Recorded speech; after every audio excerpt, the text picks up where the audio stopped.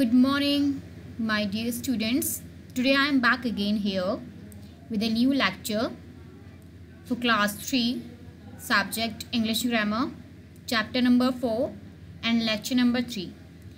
Beta, this is uh, lecture number 3 and yesterday I uploaded lecture number 2 of the same lesson and we have been focusing on chapter number 4 chapter number 4 is countable and uncountable. Noun of your same book pc rans okay? And uh, in yesterday's lecture i means i told you that next lecture will be of summary. So today this is a summary lecture. So the topic is countable and uncountable noun. And today this is summary lecture. Summary lecture means in which you will get means main main points of the of the same lesson of lesson number 4 means what is given in your book in your lesson number 4 okay? So these things i have uh, taken from the books and then i will tell you everything very precisely. I hope you will focus here and you will watch this video carefully and if you have any problem then please send me uh, uh, on, uh, on my email id that i have sent in homework. Okay? This is my email id and you can send me your homework over there. If you have any problem then just reply me there. I will reply over there. Okay beta? So now onwards if you have any problem then please reply me in my email id okay. And uh, you have to submit your homework also beta there. Email ID में ही आपको अपना homework भी देना है मुझे क्योंकि उसके अकॉर्डिंग आपका प्रेजेंट और एबसेंट मार्क होगा तो आपको मुझे होमवर्क भी डालना है उसमें. इन जो मैंने आपको ईमेल आईडी आज वेबसाइट पे अपलोड करेगी उसमें. Okay so topics to be covered मतलब जो जो हम टॉपिक आज कवर्ड करेंगे वो ये हैं. Definition of countable and uncountable noun की डेफिनेशन क्या है? काउंटेबल अनकाउंटेबल नाउन की। Second how these can be identify मतलब काउंटेबल अनकाउंटेबल नाउन को हम कैसे आइडेंटिफाई कर सकते हैं, कैसे पहचान सकते हैं, हम कैसे पता लगेगा कि ये काउंटेबल है या फिर ये अनकाउंटेबल है। Examples of countable and uncountable noun उसके बाद एग्जाम्पल्स होंगे, जिसमें कि आपको काउंटेबल और अनकाउंटेबल नाउन के एग्जाम्पल्स मिलेंगे कुछ। और होमवर्क मिलेगा। होमवर्क जैसे आपको हर हर टाइम मतलब हर वक्त, हर हर लेक्चर में आपको होमवर्क मिलता है। You will get homework and it will end with previous homework solution और उस एंड में आपको प्रीवियस होमवर्क सॉल्यूशन मिलेगा जो मैंने लेक्चर कल अपलोड किया था। उसका सॉल्यूशन आज आपको इसमें मिलेगा। So these things we are going to cover today definition of countable and uncountable noun. How these can be identified. Examples of countable and uncountable noun. Homework and previous homework solution. देखो बेटा countable uncountable noun की जो definition है, वो मैंने already आपको explain की हुई थी लेक्चर नंबर वन में चैप्टर नंबर फोर के लेक्चर नंबर वन में ऑलरेडी एक्सप्लेन की हुई थी। लेकिन हम इस लेक्चर में भी आज उसको एक्सप्लेन करेंगे। हम देखेंगे, क्या पता आप उसको भूल गए हो, आपने उसको सही से लर्न नहीं किया हो तो वो आपका एक एक रिवीजन टाइप हो जाएगा ये। आपको इसमें रिवीजन भी हो जाएगी ओके तो इसमें क्या करेंगे हम? डेफिनेशन लेंगे काउंटेबल अनकाउंटेबल नाउन की। और हमें ये देखेंगे काउंटेबल कौन सा है अनकाउंटेबल कौन सा है। उसके कुछ एग्जाम्पल्स भी लेंगे।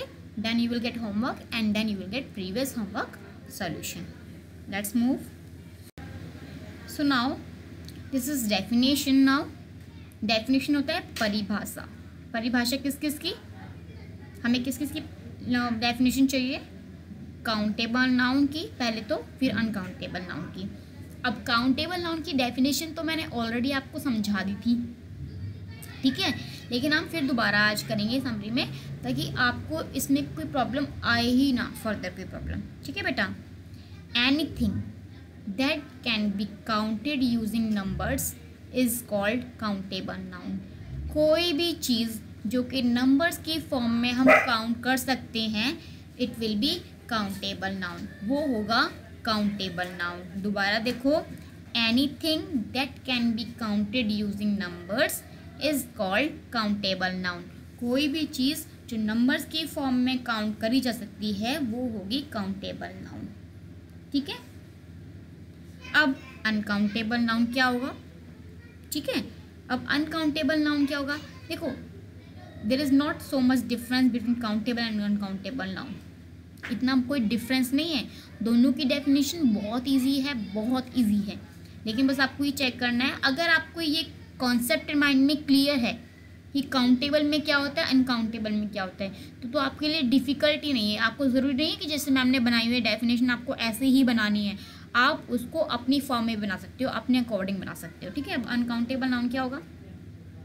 Anything that can't be counted using numbers is called uncountable noun कोई भी चीज़ जो नंबर्स की फॉर्म में काउंट नहीं की जा सकती, वो अनकाउंटेबल नाउन होगा। Countable noun can be counted uncountable noun can't be counted countable uncountable countable में क्या आ रहा? है काउंटेबल मतलब जो काउंट कर सकते हैं। अनकाउंटेबल मतलब जो काउंट नहीं कर सकते। तो डिफरेंस क्या हो गया? उसमें वी कैन काउंट और अनकाउंटेबल में वी कैन नॉट काउंट बहुत बड़ा इसमें कोई डिफरेंस नहीं है। बहुत इजी सा मतलब आपके पास डेफिनेशन है। और ये डेफिनेशन आप दूसरी वे में बना सकते हो. The nouns that can be counted using numbers is called countable noun and the nouns that can't be counted using numbers is called uncountable noun ऐसे नाउन जो हम नंबर्स की फॉर्म में काउंट कर सकते हैं, वो काउंटेबल नाउन हो जाएगा. और ऐसे नाउन जो हम नंबर की फॉर्म में काउंट नहीं कर सकते तो वो अनकाउंटेबल नाउन में आएगा. तो इतनी बड़ी डेफिनेशन नहीं है. बहुत इजी सी डेफिनेशन है. और ये डेफिनेशन मैं आपसे बार बार असाइनमेंट में रिविजन असाइनमेंट पूछूँगी. आपके लिए डिफ़िकल्ट नहीं होनी चाहिए। आप ये अच्छे से लर्न कर लो। लर्न करने के लिए वैसे बेटा, देखो क्रैम नहीं करना, रटना नहीं है बिल्कुल भी। आपको समझ के पढ़ना है, ठीक है? तो काउंटेबल अनकाउंटेबल नाउन में डिफरेंस नहीं है बहुत बड़ा। छोटा सा डिफरेंस है कि काउंटेबल नाउन को हम काउंट कर सकते हैं अनकाउंटेबल नाउन को हम काउंट नहीं कर सकते। इतना बड़ा डेफिनेशन इतनी बड़ी मतलब इतना बड़ा इशू नहीं है कि आप कुछ भी चीज़ लर्न नहीं कर सकते। क्रैमिंग नहीं करनी है आपको। रटना नहीं है कोई भी चीज़। रटने से कोई फ़ायदा नहीं है। रटने वाली चीज़ तो आप अभी लर्न करोगे next time you will forget आप भूल जाओगे, है ओके तो आप उसको रिमेंबर मतलब बार बार लर्न नहीं कर सकते। लेकिन अगर आप किसी चीज़ को लर्न करोगे अच्छे से आपको उसको समझ के पढ़ोगे then it will be easy for you to learn it for long time okay तो अगर आपको लॉन्ग टाइम तक के लिए समझना है, क्योंकि बेटा यही चीज़ आपके फोर्थ क्लास में पूछा जाएगा।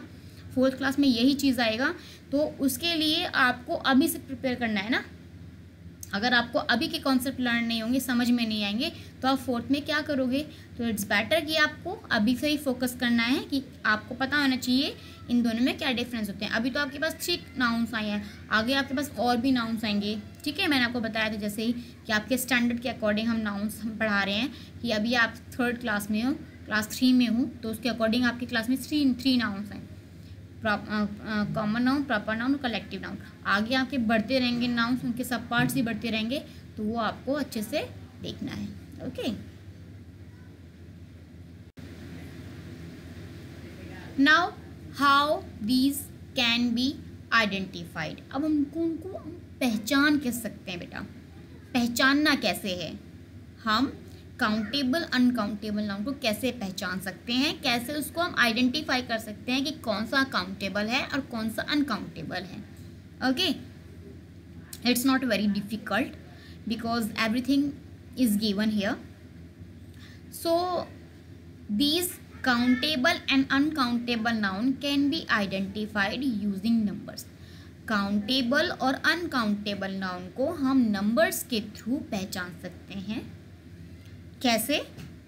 If the things are counted these can be considered as countable अगर चीज़ें, अगर चीज़ों को हम गिन सकते हैं, अगर चीज़ें गिन सकते हैं हम तो हम उनको बोलेंगे काउंटेबल नाउन ठीक है? क्या बोलेंगे हम? काउंटेबल नाउन लेकिन if the things can't be counted these can be considered as uncountable लेकिन अगर कोई भी चीज़ हम काउंट नहीं कर सकते तो हम उसको बोलेंगे अनकाउंटेबल नाउन अगर चीज़ों को काउंट कर सकते हैं तो वो काउंटेबल में होगा।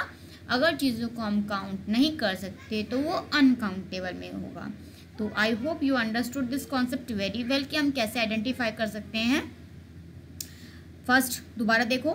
These countable and uncountable noun can be identified using numbers numbers के फॉर्म में हम उनको पहचान सकते हैं कि वो काउंटेबल है या अनकाउंटेबल है। ओके कैसे पहचान सकते हैं? नंबर्स की फॉर्म में। अगर नंबर्स के थ्रू वो काउंट करी जा सकती हैं तो वो काउंटेबल में आ गया। अगर वो नंबर्स के थ्रू काउंट नहीं की जा सकती तो वो अनकाउंटेबल में आएगा। लास्ट देखो बेटा। If the things are measurable using measuring units these can be considered as uncountable अब अनकाउंटेबल नाउन को हम कैसे कर सकते हैं काउंट उनको हम काउंट तो नहीं कर सकते, लेकिन हाँ if the things are measurable अगर हमको मेज़र कर सकते हैं किसी मेजरिंग यूनिट से किलोग्राम ग्राम मिलीग्राम या फिर कैन के फॉर्म में या फिर पैकेट के फॉर्म में हम अगर उनको हम मेज़र कर सकते हैं उसकी क्वांटिटी दिख सकते हैं तो वो होगा अनकाउंटेबल नाउन क्योंकि हम उसको काउंट तो नहीं कर सकते काउंटेबल अनकाउंटेबल नाउन को वन टू थ्री की फॉर्म में, लेकिन हम उसको मेज़र कर सकते हैं। जैसे मेरे पास जूस है जूस एक पैकेट में है, और वो पैकेट है फिफ्टी ग्राम का ट्वेंटी ग्राम का, या फिर थर्टी फाइव ग्राम का तो मैं कह सकती हूँ कि थर्टी फाइव ग्राम में जूस है। थर्टी फाइव ग्राम के पैकेट में इतना जूस है, ठीक है? लेकिन हम उस जूस को जो अंदर लिक्विड भरा हुआ है, उसको हम काउंट नहीं कर सकते। हम उसको सिर्फ़ मेज़र कर सकते हैं, वो भी मेजरिंग यूनिट के फॉर्म में। मेजरिंग यूनिट क्या होती है? ग्राम किलोग्राम लीटर मिलीलीटर ठीक है? तो वो होगी हमारे मेजरिंग यूनिट्स क्योंकि हम उनको काउंट नहीं कर सकते ओनली हम उनको मेज़र कर सकते हैं, नाप सकते हैं कि वो इतना हो सकता है।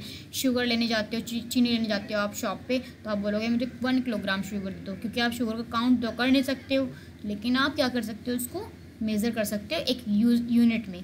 और वो क्या कहोगे आप? वन किलोग्राम का पैकेट या तो शुगर का, या फिर मेरे को वन किलोग्राम शुगर मेज़र करके दे दो। ठीक है? तो वो हो गया बेटा अनकाउंटेबल नाउन क्योंकि अनकाउंटेबल नाउन को हम कभी भी काउंट नहीं कर सकते। उनको हम सिर्फ़ मेजरिंग यूनिट से मेज़र कर सकते हैं, नाप सकते हैं। ठीक है? एग्जाम्पल्स क्या क्या हैं? काउंटेबल अनकाउंटेबल नाउन के काउंटेबल नाउन में ये ये एग्जाम्पल्स आते हैं। Pencil pen pencil one pencil हो सकती है टू पेंसिल हो सकती है थ्री पेंसिल्स हो सकती हैं फोर पेंसिल्स हो सकती हैं तो पेंसिल आएगा काउंटेबल में।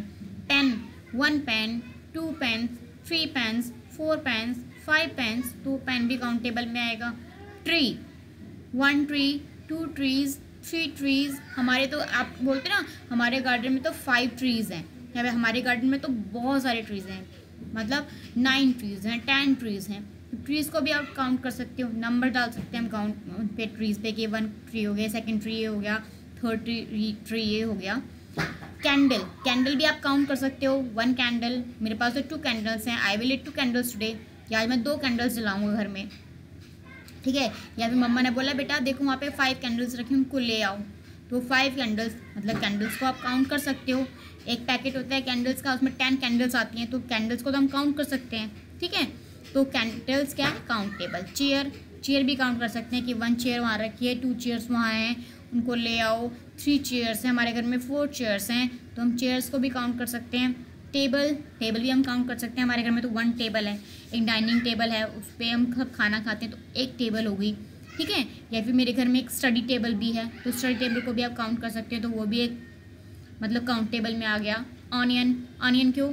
ऑनियन मतलब प्याज। प्याज को भी आप काउंट कर सकते हो कि वन, अगर आपने वन किलोग्राम ऑनियन लिए तो वन किलोग्राम में कितनी ऑनियंस आएँगी? वन टू थ्री फोर मतलब कितनी भी टेन ट्वेंटी थर्टी फोर्टी जितनी भी ऑनियंस आएँगी तो आप ऑनियन को काउंट कर सकती हो। लाइन लाइन को भी आप काउंट कर सकते हो। वन लाइन है टू लाइन है थ्री लाइन्स है फोर लाइन्स हैं, ठीक है? तो इन चीज़ों को आप काउंट कर सकते हो। ये जो चीज़ें काउंटेबल में हैं, वो क्या क्या हैं? Pencil pen tree candle chair table onion onion, lion, या फिर आपके पास मोबाइल फ़ोन है पापा के पास तो mobile phone we can count laptop we can count okay तो अगर ऐसी कोई चीज़ें हैं घर में जो हम काउंट कर सकते हैं तो वो सारी बेटा किसमें आएँगी? काउंटेबल नाउन में आएँगी, ठीक है? काउंटेबल नाउन मतलब जो हम नंबर्स की फॉर्म में काउंट कर सकते हैं। अब है इधर अनकाउंटेबल नाउन अनकाउंटेबल नाउन क्या क्या है?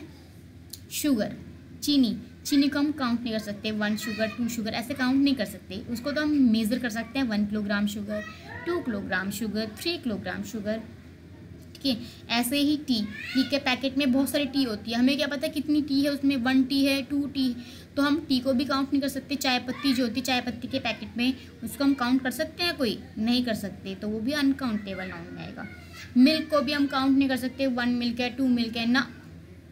वो भी हम काउंट नहीं कर सकते। तो मिल्क भी अनकाउंटेबल में आएगा। बटर मक्खन मक्खन को भी हम काउंट नहीं कर सकते। तो वो भी अनकाउंटेबल में आएगा। चीज़ चीज़ को भी हम काउंट नहीं कर सकते, वो भी अनकाउंटेबल में आएगा। राइस राइस को भी हम काउंट नहीं कर सकते, वो भी अनकाउंटेबल में ही आएगा। कॉफ़ी कॉफ़ी को भी हम काउंट नहीं कर सकते, वो भी अनकाउंटेबल में ही आएगा। बटर मिल्क क्या होती है? छाए। छाछ जो होती है ना घर में, जो लस्सी होती है, उसको बोलते हैं बटर मिल्क तो बटर मिल्क को भी हम काउंट नहीं कर सकते तो वो भी अनकाउंटेबल में आएगा। तो ये कुछ एग्जाम्पल्स हैं काउंटेबल और अनकाउंटेबल नाम के, ठीक है? तो I hope you understood this means through this examples you got to know about this countable and countable noun तो आपको एग्जाम्पल्स के थ्रू आपको पता लगेगा। और आप कुछ एग्जाम्पल्स आप खुद के साइड से लिख सकते हैं। बहुत सारे एग्जाम्पल्स हैं जो आप खुद की साइड से लिख सकते हैं, बेटा। ठीक है? Homework dear students you will get an assignment of the same lesson now which will be uploaded on website अब आपको एक असाइनमेंट मिलेगा इसी लेसन का, जो कि मैं आपकी वेबसाइट पे अपलोड कर दूँगी। और आपको उसका सॉल्यूशन मुझे मेल करना होगा। मेल आईडी मैंने आपको आज सेंड कर दी है, उस पर मुझे अपना असाइनमेंट मेल कर दो। मतलब जो भी आपका सॉल्यूशन होगा, उसको मेल कर दो। हमारे, मेरे और आपके सॉल्यूशन में कुछ वेरी कर सकता है कि आप कुछ और एग्जाम्पल्स हो, मैं कुछ और एग्जाम्पल्स लूँ। लेकिन हम दोनों का क्राइटेरिया सेम रहेगा बेटा।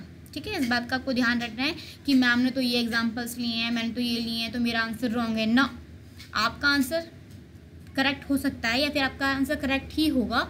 मेरा आंसर भी करेक्ट होगा, लेकिन हमें ये होगा कि बेटा मैंने एग्जाम्पल्स दूसरे लिए हैं, आपने एग्जाम्पल्स कुछ और लिए हैं, ठीक है? तो एग्जाम्पल्स वेरी करने पे हमारे आंसर्स वेरी कर सकते हैं अलग अलग हो सकते हैं, लेकिन हमें उसको सॉल्व करने का तो क्राइटेरिया तो सेम रहेगा।